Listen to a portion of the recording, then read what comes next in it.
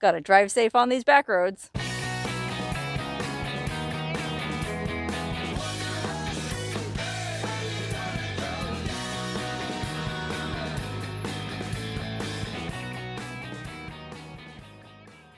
Hello, Wonder Hussy here. Just driving around the middle of nowhere in my busted Toyota. Just kidding. Uh, my rig is in the shop because one of the bushings on one of the shocks needs replacing. And my mechanic told me no off-roading until I get it fixed. But thankfully, I got a friend who's got an off-road Toyota and he agreed to take me to some really cool places that he's found way, way, way, way out in the middle of nowhere. And when I say the middle of nowhere, well, you know I've been to some remote places, and this is remote even by my standards. Okay, so we just came up this really rough Jeep trail. And by the way, there was actually a bunch of Jeepers uh, down at the bottom of the road, but they were very kind. They recognized me from my channel, and they said they would wait about 20 minutes before they come up here so I can make my little video. Yeah, we are in the middle of nowhere, but it's President's Day weekend, which is a big uh, off-roader holiday in the desert. So there's a ton of Jeepers and side-by-siders and all kinds of people like that out here. Uh, but these Jeepers were cool. They said, go on ahead and we'll wait. So let me go ahead and make this video before it gets overrun. Anyway, like I was saying, uh, we came up this real rough Jeep road and well, we're at this site. the first thing we see is this old, I guess that's an old generator. Oh, look, the generator lid opens. You can see inside it. Oh, that's cool. Look at that. How old do you think this is? 30s. 30s? 30s? What? You think this is from the 1930s or 1940s? That old? The, this, the wheel and everything, but this motor might be. Oh, Parts might be. Fairbanks Morse. I've seen that name on stuff before.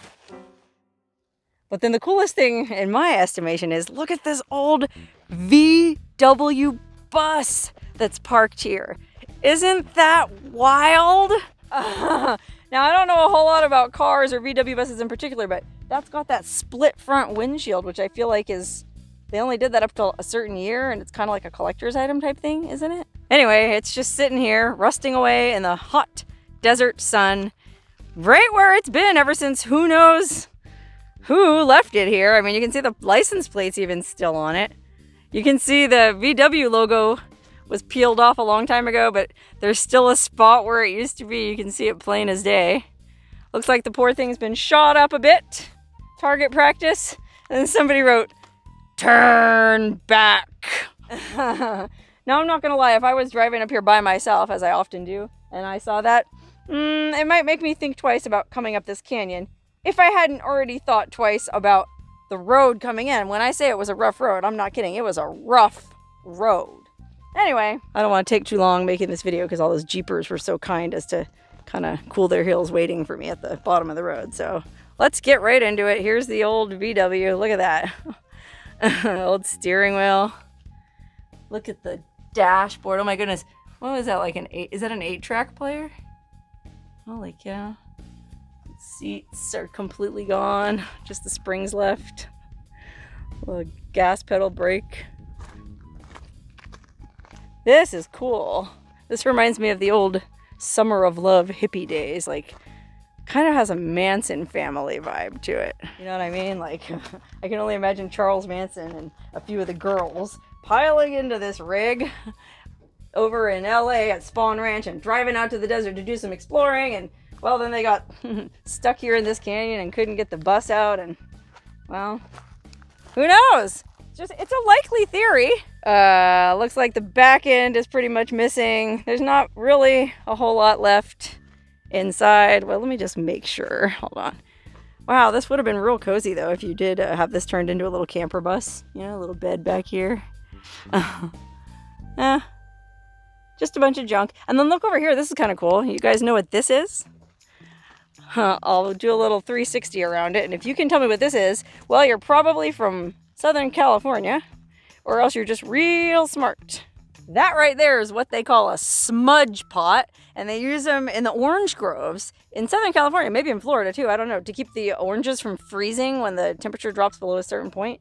you fill that bottom chamber there. This bottom part here, you fill up with oil and then you light it on fire and it's, this little top piece is like a chimney and flames shoot out the top and it puts off an insane amount of heat. I know because I have uh, some friends that have one of these and they bring it camping. It's really cool. And that you can use any kind of oil or grease in it to um, to to light it. So they get like old hot dog grease. We have another friend that has a hot dog food truck. And so he saves all his old deep fry grease from the french fries and uh, they burn it in there and they take it camping and even when it's like below freezing outside that thing will keep you toasty and matter of fact my friend that i'm operating with he is from southern california and he was telling me when he used to walk to school back in the day he would see these giant smudge pots in the orange groves and they, the ones they use in the orange groves are way bigger than this uh, this i guess is just a well gosh i don't know why somebody would have brought it out here i guess just to stay warm because we're at a decent elevation up here. I guess it gets pretty cold up here in the wintertime.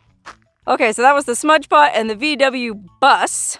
Uh, anybody watching want to guess what year this bus is? Uh, anyway, there's also a, I guess there's like a little shack or cabin or something hidden up there. And then, well, my friend Eric just pointed this way. There's something he wants me to go see. Eric thinks we should go up here and see what's up here. Let's find out what he thinks we should see. Oh, okay, some pallets. That's exciting. Oh, a blue plastic crate. That doesn't look that old. Oh, what is this? A mine adit? Oh my goodness. Somebody was working on something up here. What is this? Oh my gosh, yikes. Oh, is a shovel down there? Oh, golly. yikes, I gotta be careful climbing around on this. What do you think? It was just somebody working a mine? For what? Shovel, oh, that's an old original shovel. Yeah, that's the older. Oh, okay. Oh, well, yeah, it's got a wooden handle. Wow, yeah, no telling how long ago. And then, but look at this pulley, though. That looks kind of newer, doesn't it? Oh, this was a swing set. Yeah, oh, sure did. Look at that. Well, I love uh, having a friend, a knowledgeable friend with me on these things to explain what's going on. Thank you, Eric. We appreciate your service. okay, and then just above that little mine adit, I guess you would call it, it says it's a registered mining claim. Absolutely no prospecting allowed. This includes panning, sluicing, dredging, metal detecting, or any other activities that result in the removal of minerals. Okay, well, it doesn't say anything about no YouTubing, so I guess I'm okay. I'm not planning on dredging, sluicing, or metal detecting. I'm just here to poke around and try to figure out who lived here and what went on. And well, to that end, you can see Eric is walking up the trail towards this little cabin. This must be where the guy lived who was working this lonely little claim. Before I go up there, let me just do a quick pan of look at this beautiful little valley we're in. Can you imagine if this was your job? You went down in that little mine and dug out whatever you could by day then you came out here at night and oh my God, the sunset must be absolutely beautiful over the old burned out VW bus. What a place. All right, let's hike over and see what's in this cabin. Beautiful day to be hiking around in the desert too, by the way. Like I said, it's President's Day weekend. I think the temperature is in like the low 70s. Just great. Not a cloud in the sky. Friendly folks everywhere. It's a great time to be alive in the Mojave Desert. Okay, let's see if there's anything left in this little cabin. I mean, it doesn't look like it's in too bad a shape, considering. I mean, we are way, way out here. I guess not that many people come out up this road. We haven't seen too many tire tracks. All those jeepers notwithstanding. Hey, look at this little cactus out front. Isn't that a fake cactus? oh gosh, look. Don't litter don't drop cans or paper. Take garbage out with you, please. Wow, this cabin is actually super cool. Look, oh my gosh. Okay, hold on. Before I go in. well, yeah, door's missing, but this well, oh, the door was on it when you came here before. When when were you here? Five years. Ago. So he was here five years ago, and there was. A, so people have been out here. I mean, somebody took the door off. It could be wind, I guess. Anyway, this little campfire ring out here, so you could camp at this little cabin. One room, nothing fancy, but yeah, look at the roof, still pretty good too. Okay, let's see. The floor is looking kind of dicey, but I'm I'm going in. Let's make sure. Yep, we're good. Okay, oh my goodness. Look in this freaking cabin, you guys. This is wild. Holy cannoli. My goodness. Okay, so there's all these really kind of cool, kind of creepy old Wild West. Well, and then this. Pictures stuck on the wall. So there's Butch Cassidy, wanted dead or alive, $4,000 reward. Oh, excuse me, Robert Leroy Parker, aka Butch Cassidy. Then we got some bad looking hombres over here. We got Black Bart, Wild Bill Hickok, and Calamity Jane. And then these two don't have names. I recognize the guy on the right. I don't know. Is that Wild Bill Hickok? And then I'm not sure who that Native American chief is. Wow, I recognize a lot of these people from uh, the TV show Deadwood. If you ever watched Deadwood on HBO, or Al Swearingen, the foul-mouthed bartender or saloon keeper. anyway, then over on this wall, it looks like there were some more. Oh, I was gonna say, oh, these are paintings actually. Yeah, I know it's real blistered by the sun, but you might be able to make out. Uh, it's a guy riding a horse, like looks like an Apache, maybe riding a horse into a canyon. And then here's a really cool stippled drawing of a cowboy. You know, stippling is when they do that, just like a bunch of little dots, little bunches of tiny pencil dots. That's called stippling. Remember, I was an art major. And I don't know who it's supposed to represent, but then over here we got a Native American, looks like a Native American couple, maybe husband and wife, maybe brother and sister. Also hand drawn, that's cool. And then look, here's a one more wanted poster for Ed Nazelrod alias Mouse or Mike, Wild Red, something Blackie, Tulsa Tom, Bogus Joe, and a few others. That seems like it might just be like a joke novelty poster. I've never heard of Mouse Ear Mike, Tulsa Tom, or Bogus Joe. Anyway, that's all the posters on the walls. Uh, it's a small cabin. There's, it looks like a kind of queen size mattress, unspeakably filthy in the corner. It would have been cozy back in the day. Uh, there's a bunch of junk all over the bed, all over the floor, all over the place. Let's just see if there's anything interesting. An old ceiling fan. I don't think that was ever hung up in here because I don't think this place was ever wired for electricity. Uh, paint rollers. Oh, some kind of swiveling tabletop, it looks like, from an RV. Eh, some old blankets. Oh, this... Oh, this is an old coat. This here it's a like a raincoat and it's Faded Glory, which I think is isn't that a Walmart brand? That can't be that old. Old blankets. Those Mexican blankets. Another mattress. An old cup from Harrah's Casino in Vegas. We're not that far from Vegas, I guess. And then some kitchen stuff, a, a mixer, an electric mixer out here. Oh, I don't know what you call that thing. Use it to mash up potatoes and stuff. I mean, I guess there was a little kitchen here back in the day, but it's just rat poo now. Oh my god, look at this fork. Yuck. yeah, I mean, I guess there was a full kitchen here. Oh, look, there's like newer carpet rolled up here. Interesting. Oh, bunch of old carpet stuck. It's too heavy to move. I'm sitting on top of this. Well, bin's empty anyways. Okay, well, there's one other kind of interesting thing in this cabin next to the door.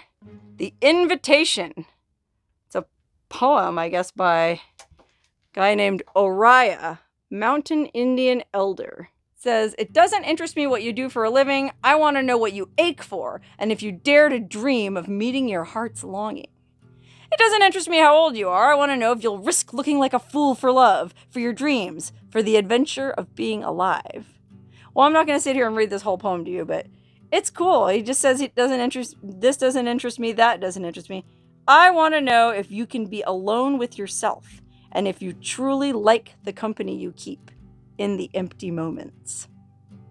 Now, how many of us can say that? I like the company I keep in my empty moments. I'm always going on about how I want to be alone. I love being alone, man. So I feel like if I knew this Oriah Mountain Indian elder, well, maybe I would have passed his test. This is a cool poem. I'm going to take a picture of it and you can pause the video and read the whole thing if you want.